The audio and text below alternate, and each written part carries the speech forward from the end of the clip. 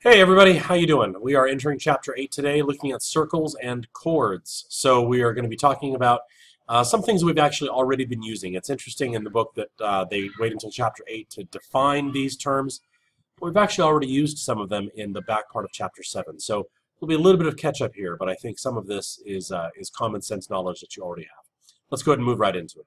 So we've talked about uh, circles before. You've, you have, have done already some things with circles.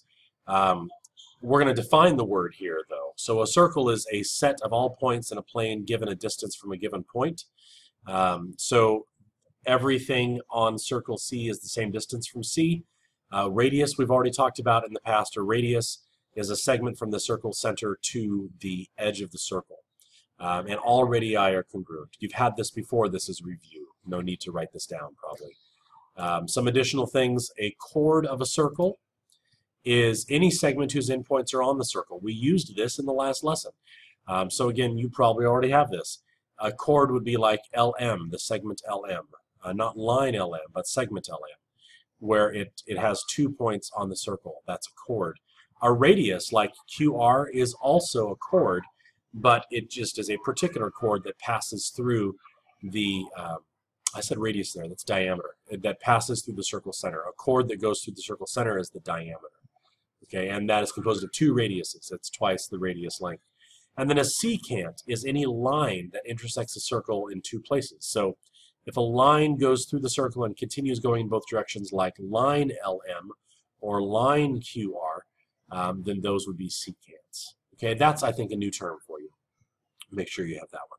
If a line intersects the interior of a circle, then it contains a chord. The line itself would be a secant, and it contains a chord, the segment that's inside the circle. That's the chord postulate, okay? Basically, it's the definition of a chord. Um, a theorem here that we can use in conjunction with that is that if a radius is perpendicular to a chord, then it bisects the chord. It's kind of an interesting relationship. You can't draw a chord in a circle and have it intersect the radius um, such that the radius is perpendicular to the chord and not have it bisect the chord.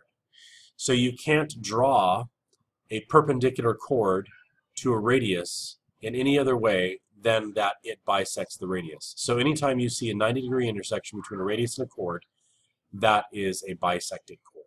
Kind of an interesting thing. It's not immediately intuitive, but if you try to play with it in your brain, um, there's no other way to arrange that. It's an interesting thing. So let's let's uh, do a proof with that together. Circle O with OC perpendicular to AB. AB is a radius, sorry, is a chord, and OC is a radius. So we have these two things. That's given. We're going to draw two more radii, OA and OB. So there's these lines here.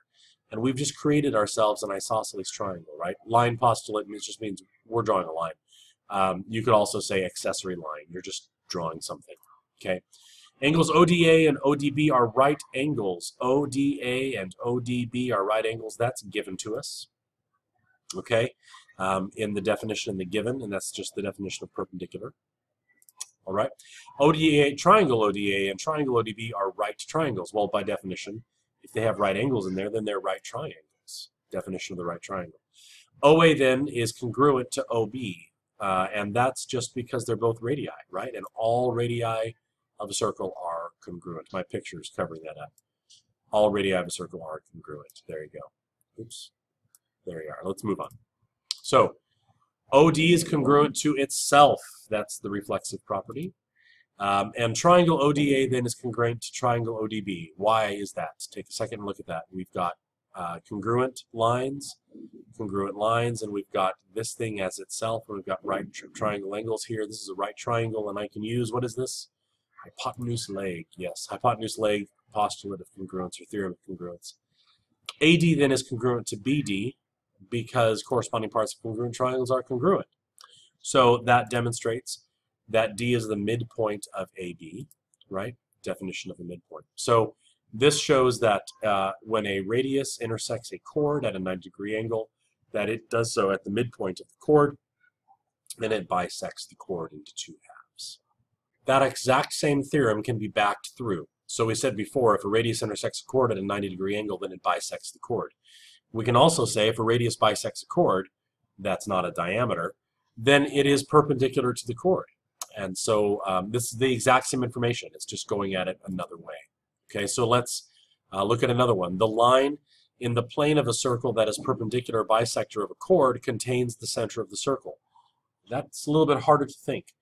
You have a chord, and you have a line going through a circle, um, and it is a perpendicular bisector of a chord, then that line must contain the diameter, uh, and it must contain a radius, so it must contain the center of the circle. Um, so here's a picture. Here we have a chord, and we could draw this line. This I'm sorry, this isn't a line. It should be a line going through the circle. And it, if just like this has to be a radius to bisect the chord, um, if it's a line going through and it bisects a chord, then it must have the radius in it, which means it must contain the center of the circle. Okay. Find the diameter of a circle, O, if OD is 3 inches. OD is 3 inches. And uh, AB, this line here, is 8 inches. Well, now I have two right triangles, right? I've got a 4-inch side here and a 3-inch side here. I can use the Pythagorean theorem to determine the length of the hypotenuse, which will be a radius. Um, once I have the radius, I can multiply that by 2, and I'll have the diameter. So let's see what they do here. AD is 1 half of AB. AD is 1 half of AB, right? So half of 8 is 4. That's what we just said here. This is 4. Um, OA squared equals 3 squared plus 4 squared. That's the Pythagorean theorem, right? A squared plus B squared equals C squared. We're going to solve that out. We're going to find that OA is 5. And so the diameter is twice the radius. Radius is 5, so the diameter is 10. By the way, this is an interesting thing that hasn't come up yet. In the discussion of right triangles, you, you know about the 45-45 triangle, you know about the 30-60-90 triangle. Um, one common right triangle that you will encounter frequently is the 3-4-5 triangle, where one leg of the triangle is some multiple of 3, uh, the other leg of the triangle is that same multiple of 4, and the hypotenuse will be that same multiple of 5. So 3, 4, 5, or 6, 8, 10, or 9, 12, 15, how fast am I at math? Um, it's 3 or 4 or 5 times the same number. Um, and you'll encounter that a lot. If you have a right triangle and one leg is a multiple of 3 and the other leg is the same multiple of 4, you don't have to do the Pythagorean theorem. The hypotenuse is that same multiple of 5. Okay, so just save you a little bit of time there. Uh, theorem. In congruent circles or in the same circle, two chords are congruent if and only if they are equidistant from the centers. So if you have a chord, a circle A and circle B, and they're congruent, and chord QR is the same distance from chord PN, I say as chord PN is from the center here, then um, they're the same length.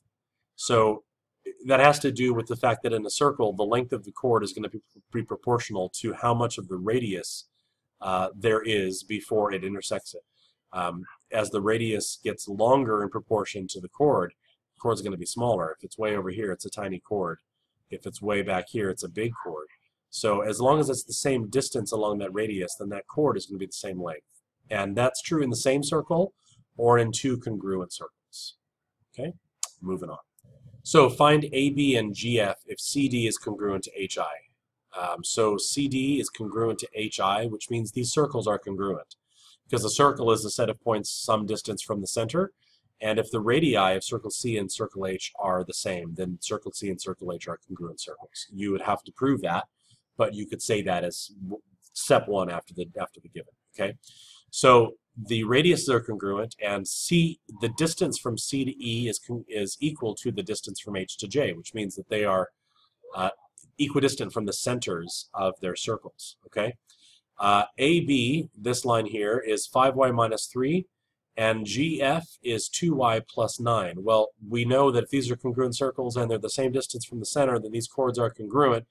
So I can set these two uh, mathematical statements together as equal to each other, solve for y, plug the, plug the answer back into AB and figure out how big AB is. Let's do that.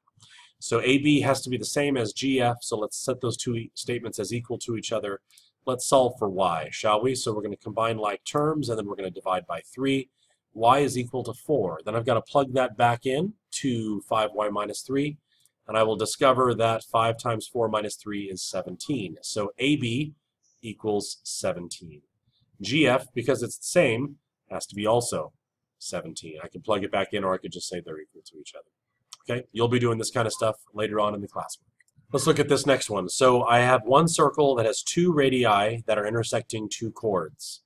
And there's another radii drawn here for me um, that it has a length of 13. So I know that all of these radii equal 13.